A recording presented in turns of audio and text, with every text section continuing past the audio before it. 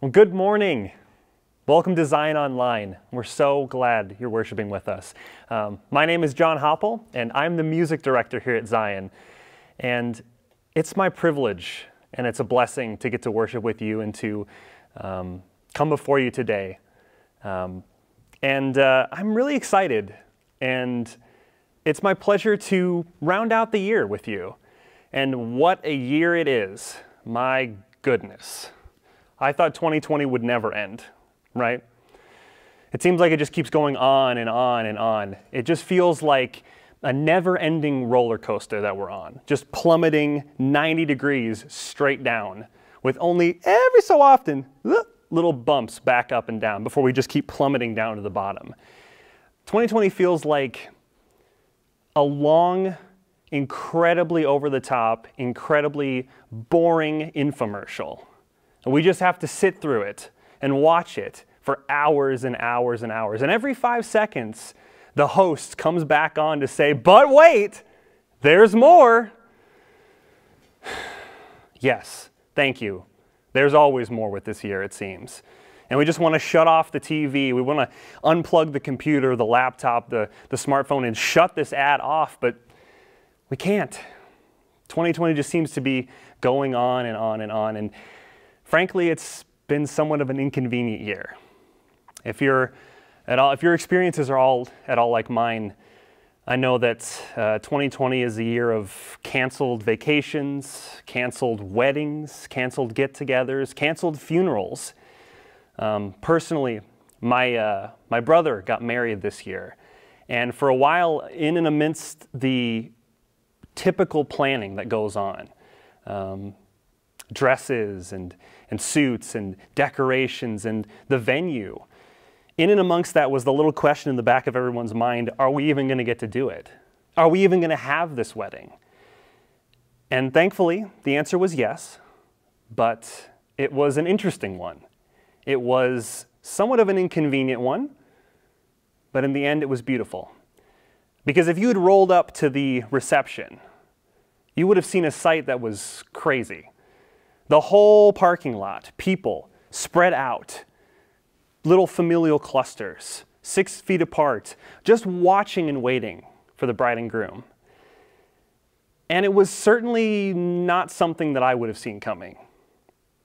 And I'm sure that 2020 was a year that not a lot of us saw coming because it was inconvenient. It was different. But that's what I want to focus on a little bit today. Is how these inconveniences, the, the hiccups, the bumps in life, some of them small, minuscule even, but others that can be pretty drastic. How all of these inconveniences are kind of just a part of what it means to follow Jesus. So I want to get into it. I want to start by talking about a little bit of what inconvenience actually means. Um, the dictionary definition of inconvenience defines it as trouble or difficulty caused to one's personal requirements or comfort. Now, as I was reading that, it, it kind of stuck out to me as I was thinking and praying on, on what to say. And yeah, that seems like 2020 in a nutshell. Trouble or difficulty caused to one's personal requirements or comfort. And I want to look at a little passage from the book of Luke. If you have your Bibles, um, if you have hand Bibles, physical copies. I know that's kind of an old concept in today's age, but if you flip, crack open the Bible in the half and flip to the, the right, you'll find the New Testament Matthew, Mark, and finally Luke. Luke chapter 9, verses 57 to 62, we get to see some of the inconveniences that Jesus himself lays out on what it means to follow him. If you follow along with me, Luke 9 57, as they, the disciples, and Jesus were walking along the road, a man came up to Jesus and said to him, I will follow you wherever you go. Jesus replied, Foxes have dens and birds have nests, but the Son of Man has no place to lay his head. He said to another man, Follow me. But he replied, Lord, first let me go and bury my father. Jesus said to him, Let the dead bury their own dead. But you, go and proclaim the kingdom of God. And still another said, I will follow you, Lord, but first let me go back and say goodbye to my family. Jesus replied, No one who puts a hand to the plow and looks back is fit for service in the kingdom of God. This passage highlights three men who came up to Jesus, or Jesus coming up to them, with an invitation, with a request to follow Jesus.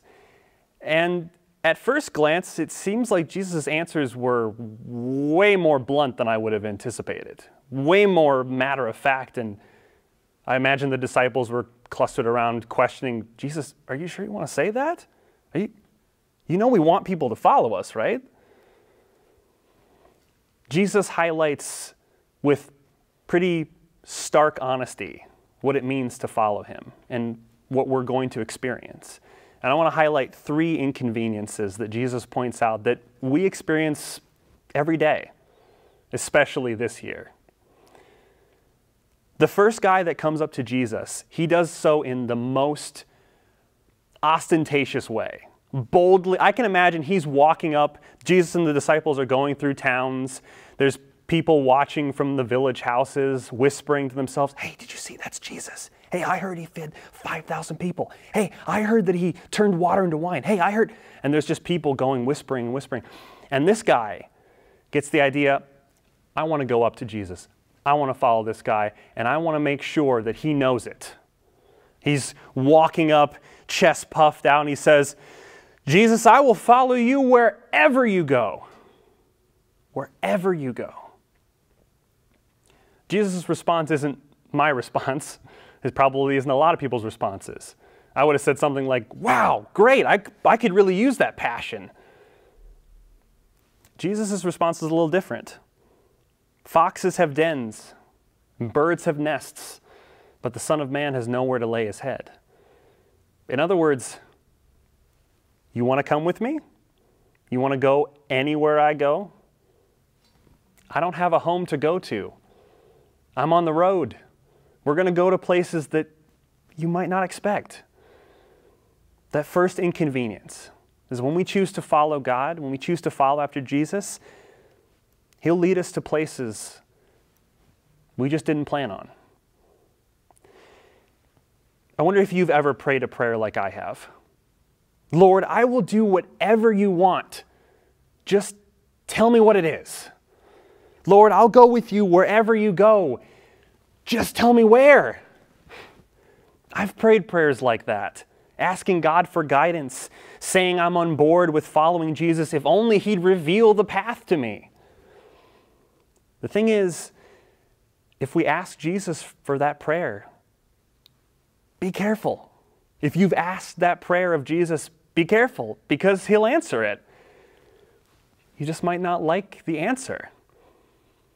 There are a lot of places that we go in life, a lot of stops along the way, and not all of them are planned that way. See, when we choose to follow after Jesus, He's going to go places that we weren't expecting. Sure, there's going to be mountaintop experiences, there's going to be transfigurations, there's going to be feeding the 5,000 moments. Absolutely. But there's also going to be the cross. There's also going to be those moments that are really hard and we would say to Jesus, Well, I'll follow you pretty much anywhere, but not there. Can we not go there? That, I don't want to go there. That, does, that wasn't in the plan, Jesus. That first inconvenience, Jesus will lead us to places that we just didn't plan on. The second guy, in quite the contrast to the first, doesn't start the conversation. Jesus actually goes up to this man and says, Hey, follow me. And this time he replies, Lord, first let me go and bury my father. Oh, yeah, sorry. Oh, dude, I didn't even realize I was in the middle of a funeral here. Sorry, I did not mean to interrupt. Please go on your way. Well, he says he wants to bury his father, but what that means is, more likely, Lord, let me take care of my father and my mother. Let me be a son to them. Lord, let me help out with the family business. Let me take care of all my assets on this side. And then when I don't have that to worry about anymore, when I'm free of those obligations, then I'll follow you. What does Jesus respond with? Let the dead bury their own dead. Yikes. That's pretty to the point, isn't it? Jesus is saying to this man and to us look, if you want to follow after me, the other commitments you have, we have to leave those aside. Oftentimes, when we make decisions, when we have a choice in front of us, it's not a choice between a good decision and a bad decision. We're pretty okay at determining obviously good things versus obviously bad things. No, sometimes when we make choices, it's between something good and something good. Lord, where am I going to go to school? I have these two colleges in mind. I'm not really sure. What's your path? Lord, I, I could go into business. I could go into full time ministry. What's the path? What do I do here? Sometimes we have these good decisions. But when we choose to follow after God, when we make the effort to learn what it is that He has for us, when we go to these places we weren't expecting, we learn that following Jesus can be uncomfortable. It means saying no to a lot of really good things. It means saying no to sometimes friends or family. It means saying no. It means saying no. There's a, a show that I've uh, taken to watching that's really fantastic called The Chosen. And if you haven't watched it, I highly recommend it. Um, they have their own app on the App Store that you can watch on your tablet or your smartphone. And the show details Jesus and his ministry, but it does so much more than that because it gets to you get to see the lives of the disciples, the context in which they lived. We get to see Peter and Andrew, James and John as they live their lives as fishermen, what that means, what they struggle with.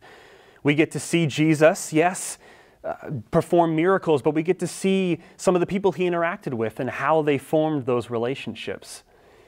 And we also get to see Nicodemus.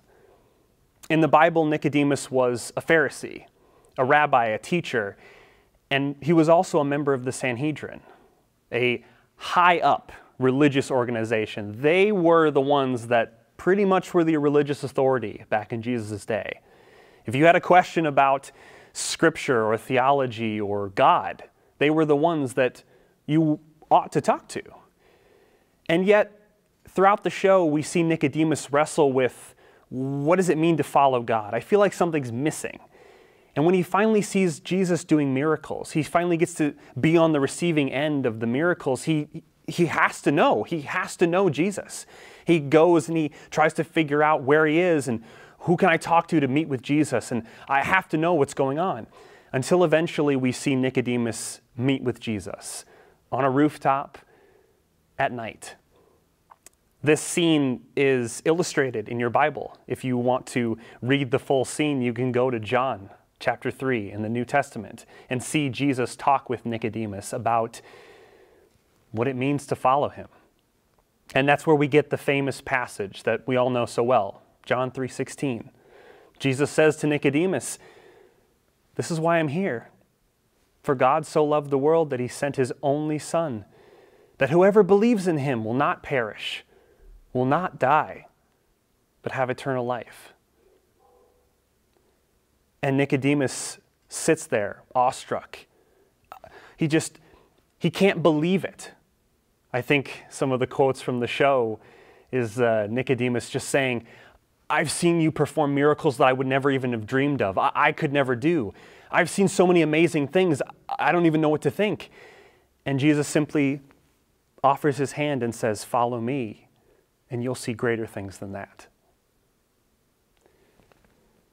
Ultimately, at the end of the first season, we see Jesus and the disciples gathered around. They're ready to leave. Jesus is going on the road, got people to see, ministry to do, and Nicodemus is nowhere to be found. Oh, he wants to go. Believe me, he wants to go. But he's a Pharisee. He's got his own disciples. He's a member of the Sanhedrin. He can't just go traipsing across the countryside. He's got children and grandchildren. He's got so many responsibilities. It would be uncomfortable to leave all that behind to go with a man he barely knows. But that's the choice that Jesus is offering him. And it's the choice that Jesus is offering us. If we want to say yes to Jesus, it might be uncomfortable. It might look a little bizarre. And yes, it might be inconvenient. The third man that Jesus meets in this little passage says to Jesus, I will follow, Lord. I will. But first, let me go back and say goodbye to my family. Yeah, sure. What's, what's the problem with that? I mean, sure, you want to say goodbye before you head out on a long journey, I would imagine, right? Well, Jesus says this to him No one who puts a hand to the plow and looks back is fit for service in the kingdom of God. What does that mean? Puts a hand to the plow and looks back. What do you mean? Well, in those days when you were plowing a field, getting ready for springtime, you had to make sure that you plowed straight rows to plant your crops. And of course, the machinery was not as good as we have today. You had to take a huge, heavy plow and dig straight rows in order to make sure that the crops came in just the way that you wanted them. But if someone was plowing and friends came along the road and you turned back and you said to them, "Oh, hey, how's it going?" "Oh, hey, Bill, Ted, hey, how you doing?" "Yeah, just plowing some crops. Don't worry about." "Oh, no!" You get wavy lines and your straight lines start to curve and now you have a big problem. Jesus is saying, if you want to follow after me, you got to focus in. You got to keep your eyes on the prize. You've got to go after me and you can't be distracted. I don't know about you, but I get distracted a lot. Some of us get distracted by material things. Um, we get distracted by money. We get distracted by attention that people lavish on us. We get distracted by friends. We get distracted by family. We get distracted by our Christmas decorations. If Jesus, if we want to follow after Jesus, we have to lay our distractions aside. Some of us don't get distracted by material things per se. No, we get distracted by what others are doing. If we're running hard after Jesus, as it says in Hebrews 12, if we're running our race after Jesus, having our eyes fixed on what Jesus is doing ahead of us, it's really easy to turn and look to either side, the lanes next to us, and see people running alongside of us. Sometimes it seems like they're running out way ahead of us. It seems like we're lagging behind. When we get distracted by what others are doing, we lose sight and we can get discouraged on what Jesus is calling us to do right here, right now. No, what he's calling you to do doesn't look like what he's calling everyone else to do. It's going to look a little different. And that's okay. All that matters is we keep our eyes fixed on Jesus, the author and perfecter of our faith.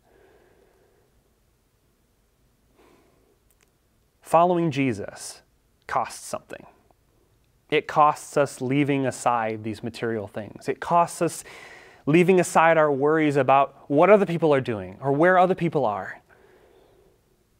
Following Jesus ultimately is inconvenient because it always comes with a price tag. Now, being inconvenienced is no fun.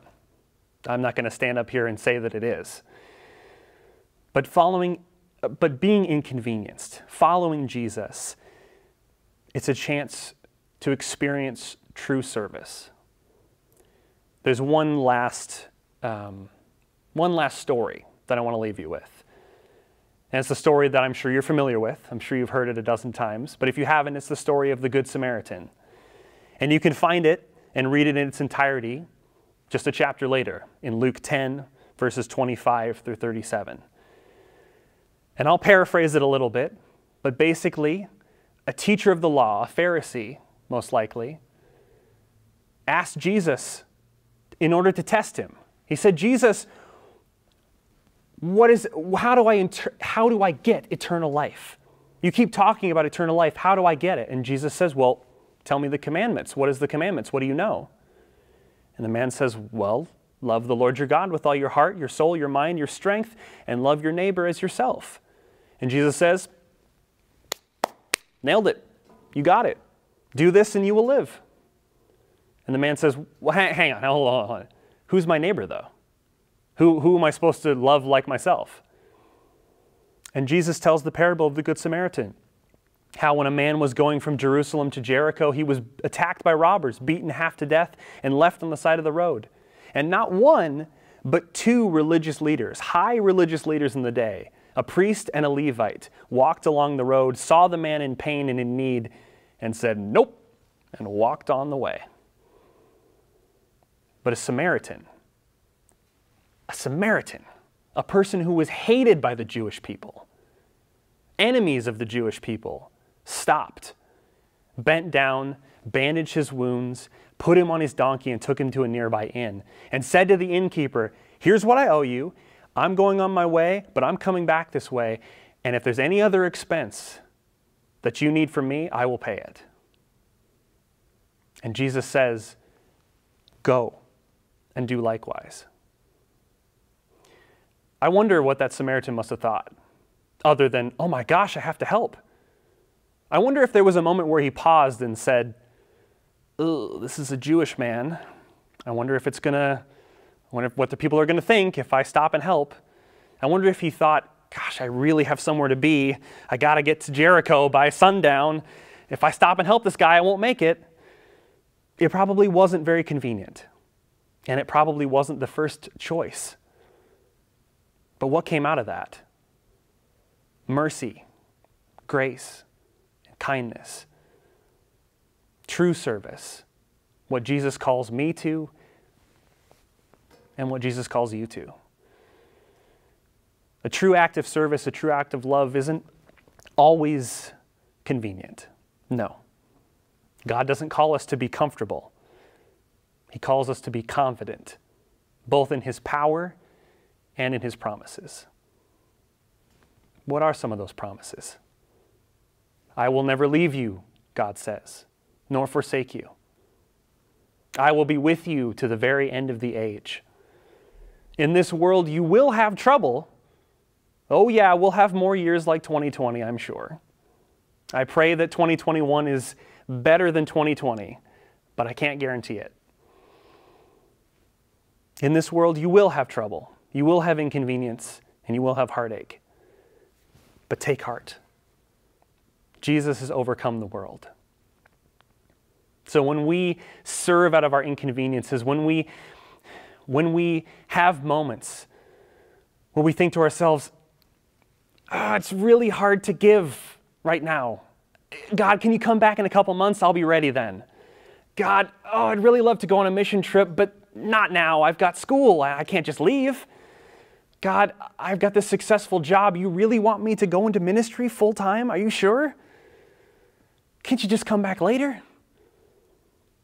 When we have those moments, I hope and I pray that you, like me, will answer the call that God has placed on our lives, whether it's convenient or not.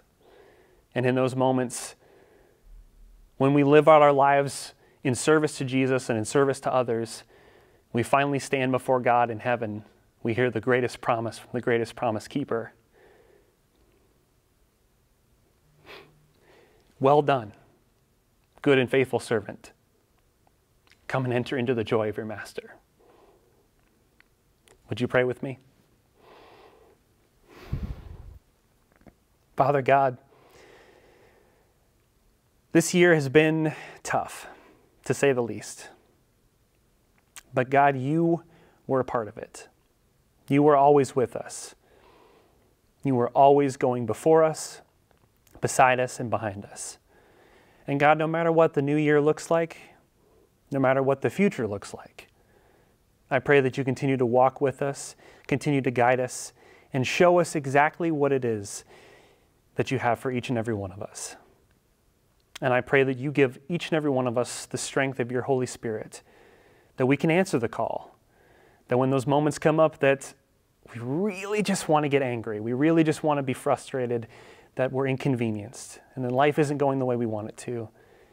I pray that we reach out to you instead, I pray that we call upon you instead. And I pray that we love wholeheartedly in the middle of the times where it's convenient and the times where it's not. We ask all these things in your name. Amen.